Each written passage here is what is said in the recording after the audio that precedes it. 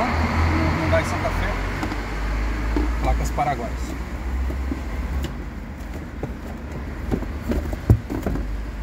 Princípio uma grande quantidade,